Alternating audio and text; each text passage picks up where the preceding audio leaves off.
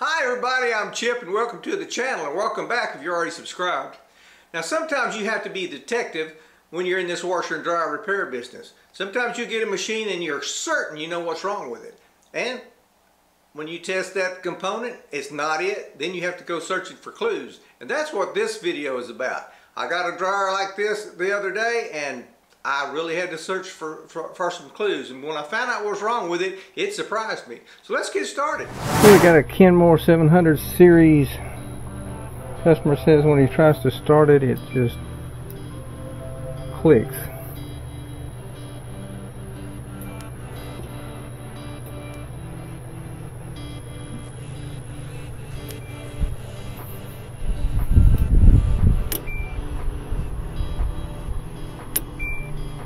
Hmm. Sounds like a relay. We'll get into it and see what's going on. So at this point, I'm pretty sure it's going to be a bad control board, but I know how to fix it. So I start disassembling the machine to get to it.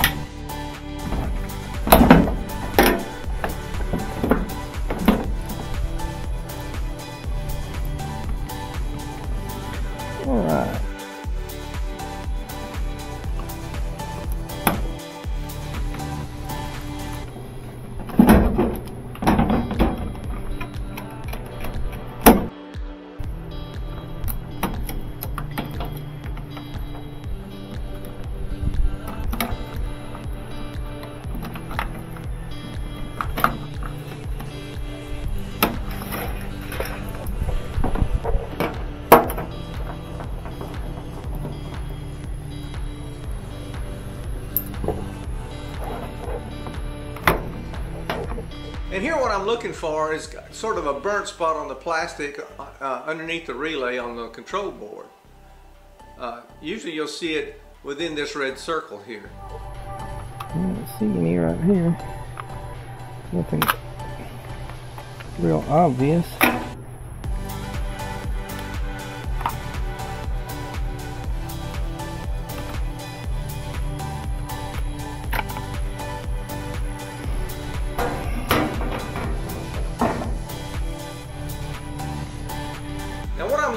Here, these four pins on the back of this relay, one of them is usually uh, had got real hot and melted the solder out of it, so it's no longer making contact and the board has failed. But that's not the case in this uh, situation. And I, after examining this board, I just reassembled it, put it back in the machine because I'm pretty sure the, the board's uh, okay.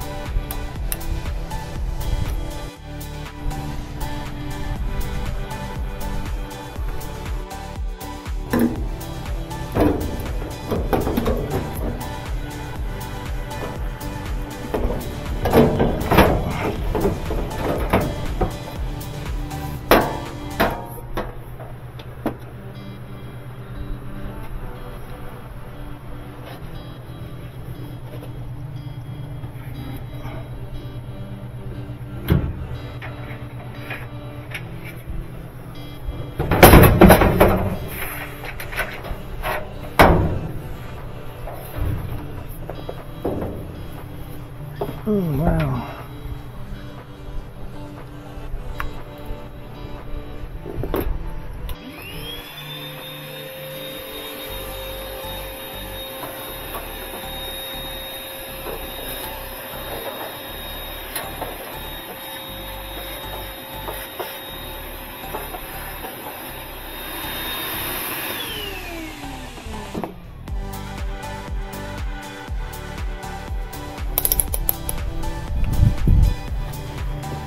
Okay, here I'm to, I'm just checking all the components on it just because I'm, I'm in here, I need to do that anyway. Uh, the, the worst thing you can do is uh, take a machine apart and not check these uh, components, reassemble it, and one of them is bad.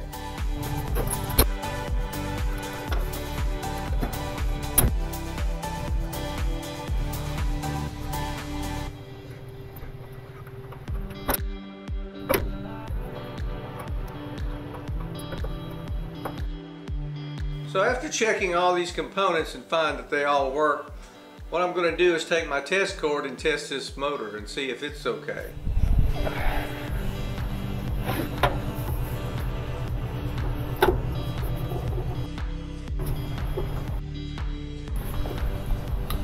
Okay, simply plugging in the test cord is not going to make this dryer's motor work because it also has a belt tensioner switch on it. So what you need to do is reach in there and lift the uh, idler pulley up so, so you can activate the belt tension switch. Uh, and when I did this, nothing happened.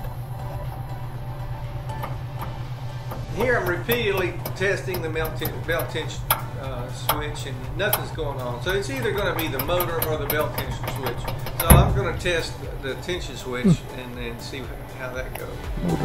Motor. When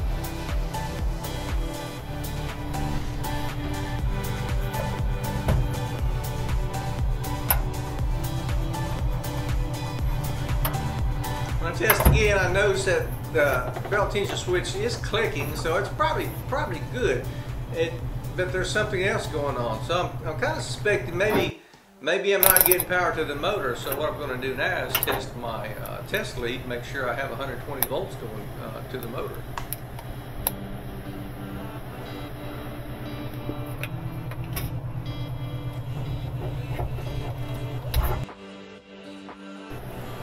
So here I plug one of the wires into the power cord and now when I plug the other one in, sure enough, I'm getting 120 volts. So it's not the power cord, so I am getting power to the motor.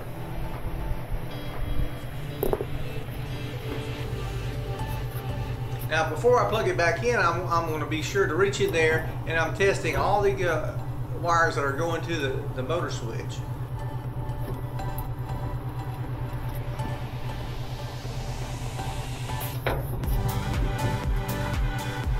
And it's right here that I reach around behind the tension switch and I, when I push on the connector there, it kind of snapped back into place. So I'm kind of thinking that that connector may have been disconnected from the tension switch all along.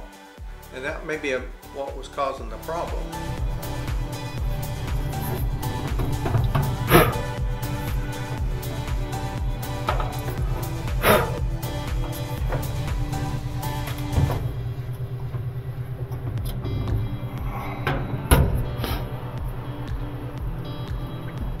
So I took the leads off of the motor switch and uh, I tested the motor switch for continuity as you can see in this uh, little clip here.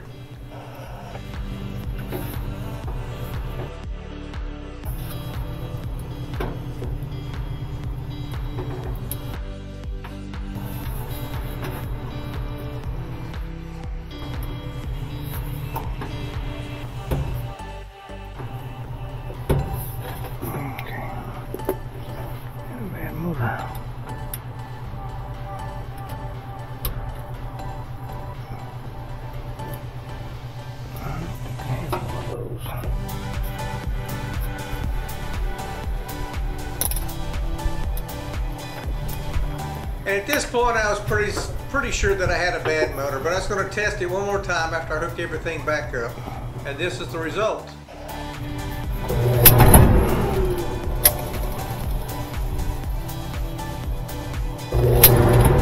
It worked and it surprised me because I didn't think that anything would happen when I lifted that idler pulley. Um, so she's working now.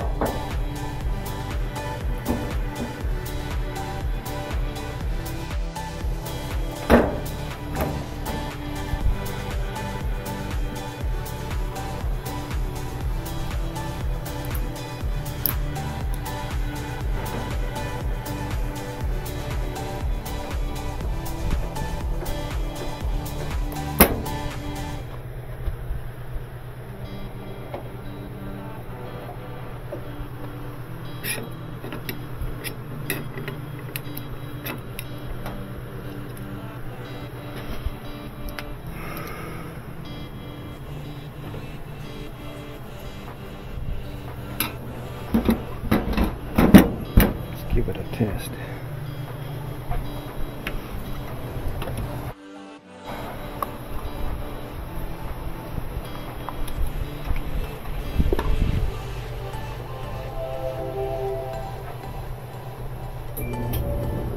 Perfect.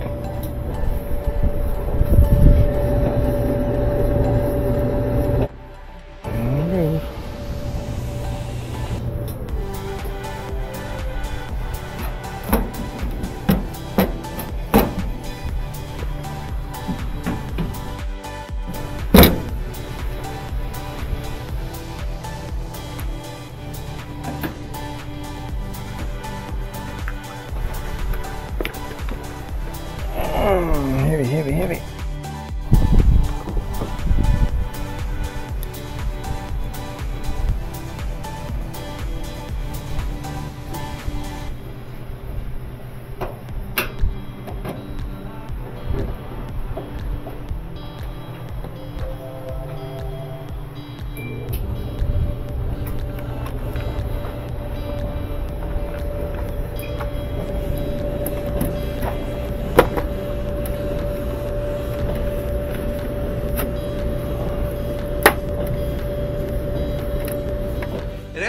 All said and done, I'm still not certain what was wrong with this machine.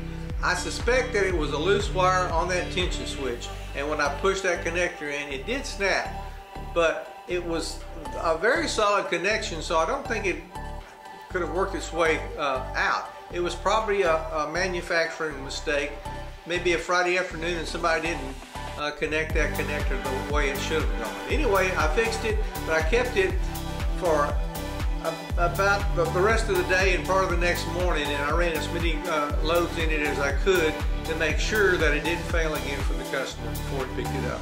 Anyway, thanks for watching. Give me a thumbs up and think about subscribing. See ya.